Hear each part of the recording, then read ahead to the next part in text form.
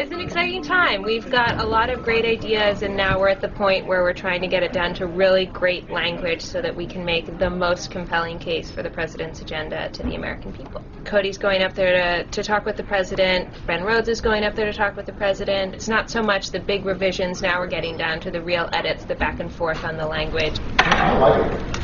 You know, I think the right. I think the framework's right. He's making his agenda and his work real to the rest of the country.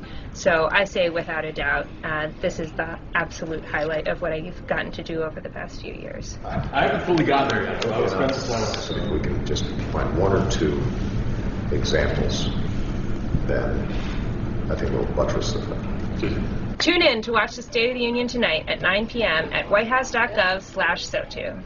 You should have trimmed my beard if you were going to be on TV.